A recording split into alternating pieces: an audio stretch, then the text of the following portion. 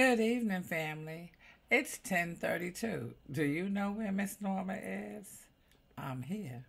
I just got home from work. Amen. Praise the Lord. Our reading for March the 6th is titled The Ripple Effect.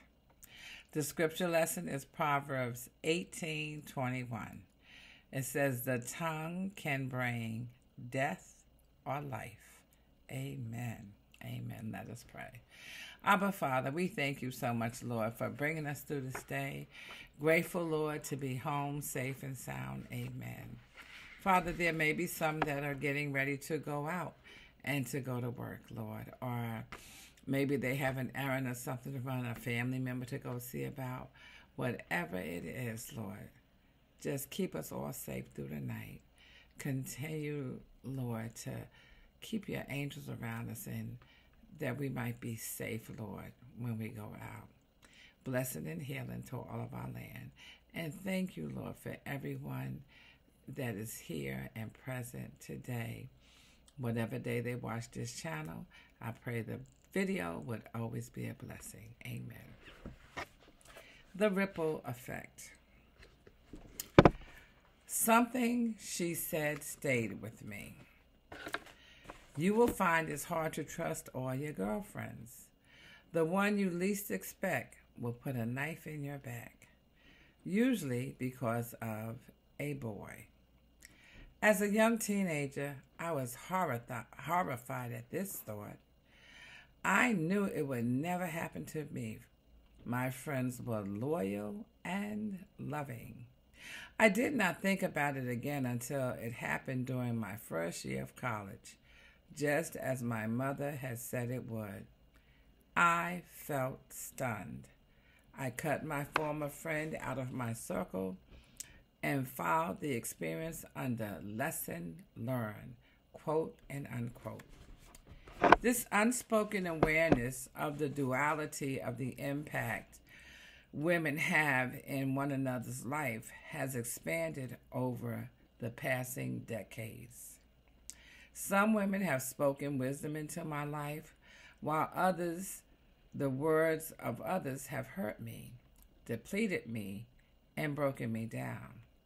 To be fair, most were not spoken to be intentionally cruel, but came from a place of deep hurt. Each of us, ladies and men, has seasons where we hurt others due to the healing needed in our own lives.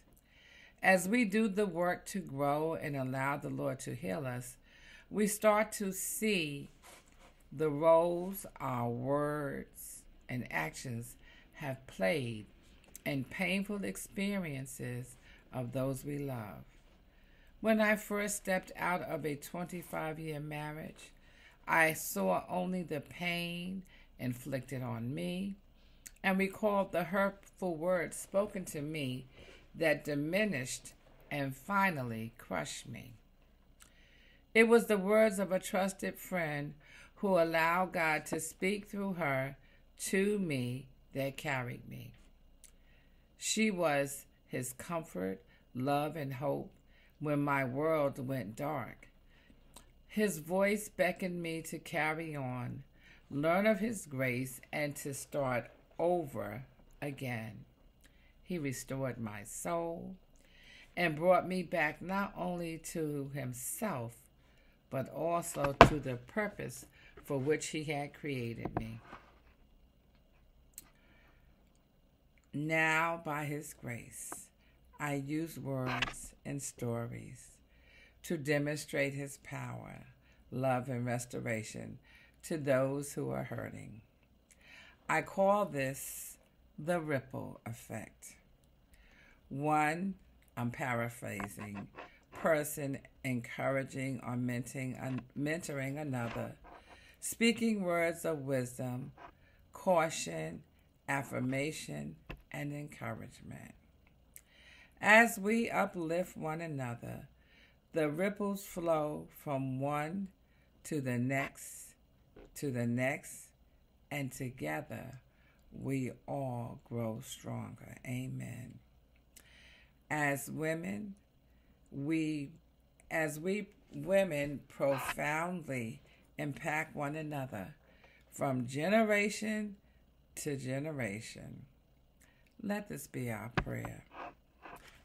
This is my daily quote in the mornings. Let the words of my mouth and the meditation of my heart be acceptable in thy sight. O Lord, my strength and my redeemer. Psalms 19:14. Amen. Those of you that have been with me almost from the beginning, um, this was in the video, well, in the uh, description of the video. And I still say it every morning. I say it sometimes throughout the day. Our reading today was written by Emera Smith. Amen. Thank you, family, for being here. Thank you for waiting. And I'm so glad to be home this evening. Blessed and healing to all the land, and by his grace, I will see you in the morning. Good afternoon, good evening, good night, whatever time you're here. Thank you. This is Miss Norma, and remember, the greatest love of all is the love of Jesus Christ, our Savior and our friend. Amen. Good night, everyone.